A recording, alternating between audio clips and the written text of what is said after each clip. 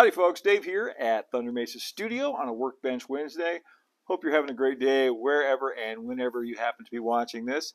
It's kind of a cold, wet, rainy day here in Jerome. Got up here, didn't feel really motivated to start any new projects today, so I thought I would do a little bit of maintenance. Kind of a good day for that. As you may know, I've been uh, refurbishing and reimagining the Thunder Mesa layout and as part of that process, I'm uh, doing some cleaning and uh, you know revamping of old scenes as I go. And today I think I want to do some work on Geyser Gulch, which hasn't had any attention in quite some time, and it's starting to show its its age a little bit, a little bit of wear and tear starting to show. So let's go over there and uh, take a look. When you have a lot of big modeling projects like this, there's always something that needs attention, something that needs to be repaired or cleaned or maintained in some way. And I was looking here at, uh, at Geyser Gulch the other day, noticing it was kind of looking a little dingy, a little yellow, in fact. Uh, like uh, some of the color was kind of starting to shift towards the yellow side with age. And uh, I think I want to, uh, to fix that today. I'm going to start by doing a good cleaning because, boy, is this dusty. First, I'll give it a once over with the shop vac.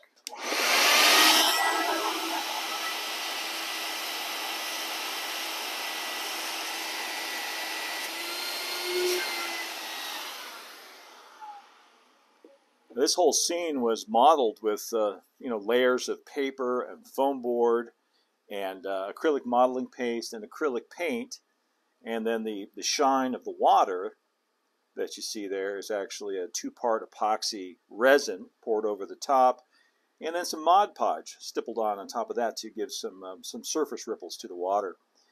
And it's you can probably see it started to yellow a little bit. So I'm going to try to bring this back to a more uh, as new, as modeled appearance. Just getting this clean is going to help a lot, I think. Right now I've got a container with some just some clear water, a clean soft brush. Try and get the rest of this dust off. I'm not worried about hurting any of this surface um, with the water, even though it is, you know, modeled with, you know, paper mostly, because you know it's got those layers of resin on top of it. Yeah, that water coming off of there is, is just it's kind of brown now. this uh, might have to do a couple of passes on this.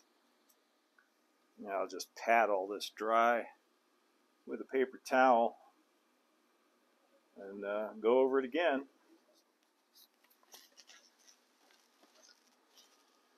Color of this water, by the way, this turquoise, is based on uh, a couple of real world places. One of them right here in the southwest, not very far away from where I am here in Jerome, up at the Grand Canyon. It's a place called uh, Havasupai. And the water looks very much like this. It's loaded with uh, travertine dissolved in the water. Another place uh, that uh, this scene is heavily based on is uh, Mammoth Hot Springs which is up in uh, Yellowstone National Park. Now I want to do something about this yellowing. I'm going to dry brush some white and some unbleached titanium on here in different areas. It is supposed to be sort of yellow. I mean, that was intentional. When the travertine dries out, it tends to get kind of that, you know, chalky, khaki kind of look to it, but it's gotten a little bit more yellow than I want it to be, so we're going to bring it back. I just squeeze those colors out into a, a dish like this, dip my brush in there, and dip my brush in each one so I get kind of halfway between the two. If you start in with just pure bright white, uh, it doesn't give you anywhere to go. You, you can't get any whiter than bright white. So I'm going to start with kind of a, a medium white, kind of an antique white. A piece of cardboard and get most of that paint off of the brush. And I'll start up here at the top, just dry brushing on, trying not to hit the pools, but just the, uh, the travertine ledges. If I do accidentally get it on the pools, I can just wipe it off real quick with a wet finger. Just trying to bring this all back up about a shade. Just it's gotten a little bit dark and dingy. And carry that over onto the rock surface because the travertine stains the red rock as well. using a semi-stiff brush with a long handle. This is actually an oil painting brush. So I can get down into these places that are kind of hard to reach. Forget these pools over here. Now I want to mix my paint with a little bit more white than I did before. Still dry brushing. Use a smaller brush. Come back and uh, highlight certain areas. The top of the geyser there needs to be almost pure white.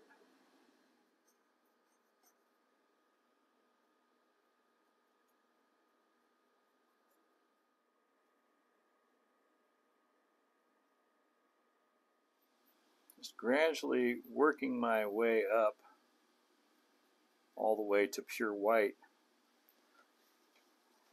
Adding a little bit more white in with each pass until I get to the brightest highlight,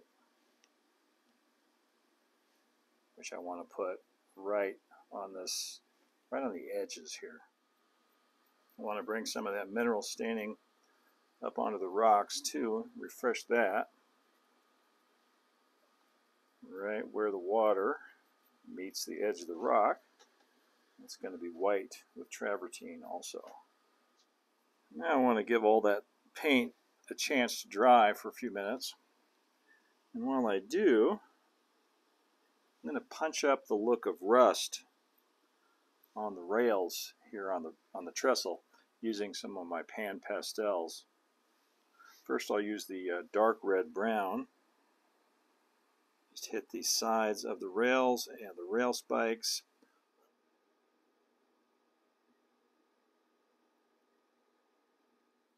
Make sure I get both sides of each rail.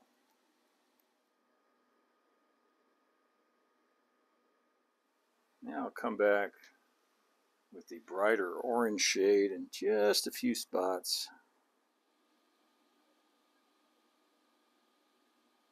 Now the speed limit is 5 miles an hour on this trestle. So slow moving trains are going to drop a lot of soot and cinders and ash. So got some black chalk right down the middle between the rails. I'll put a very light spray of matte finish on there.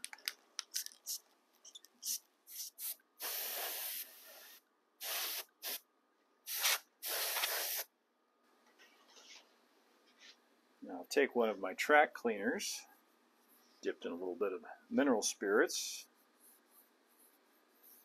get all of the pastels and chalk and fixative off the top of those rails. My preferred track cleaner, by the way, this is a, a wine cork with a piece of uh, cotton t-shirt wrapped around it. Now that the paint and everything else is dry, uh, I want to come back and punch up the surface of the water. It's gotten kind of dull over time. You know, the paint yellows and the, the water surface just kind of gets dull. That Mod Podge will collect dust and get darker and duller over time. So I want to bring that shine back, and for that I'm going to use some Woodland Scenics Realistic Water. Uh, I don't really like this stuff that much for modeling large bodies of water, ponds and streams and things like that, but for applications like this, it's great. And I just like to apply it with a uh, small, soft brush. Just pour some of it out in a clean dish. Brush it on every place I want it to be shiny. Stuff uh, smells an awful lot like uh, floor wax. And I wouldn't be at all surprised if that's what it is.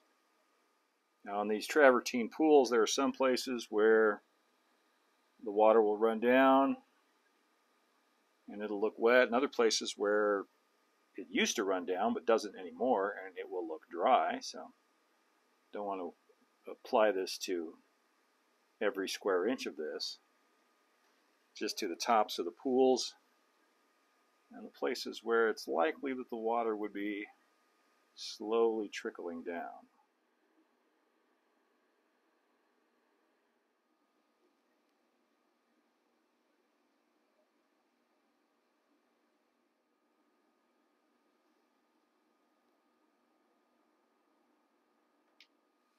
Now I'll let that dry for a little while and we'll see how we did. While I'm at it, I think I'll do some service on the geyser unit also. This is the uh, vape pen converted to a smoke machine for the geyser. It runs on uh, four AA batteries, and I already changed those, just adding some fresh vape fluid nicotine free, flavorless. Let's see how Old Unfaithful looks.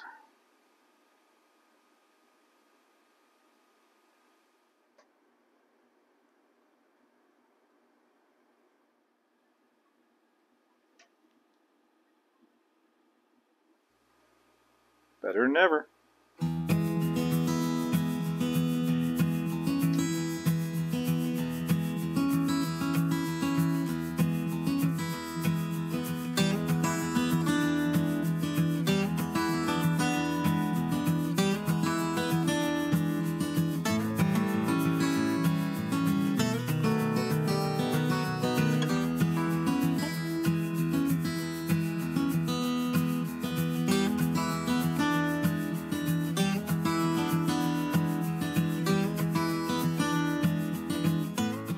Well, I've got to say that that is a vast improvement. It was definitely worth taking the time to do. If I had any power running through the rails right now, I'd run a train through here too so we can see how that looks.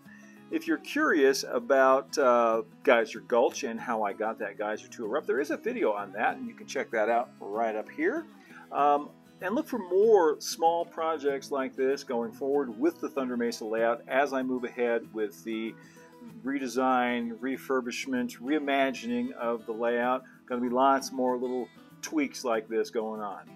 I want to thank you for joining me for this Workbench Wednesday vlog. I hope you enjoyed it. If it's your first time here, you know, subscribe and hit that notification bell so you'll know when the next Thunder Mesa Studio video comes out. You can also follow us over on Instagram at thunder.mesa and see what's new on the Thunder Mesa Studio website at thundermesa.com Studio. As always, a huge shout out and thank you to our Patreon members for helping to make these videos possible. Until next time, keep moving forward, my friends. Adios for now.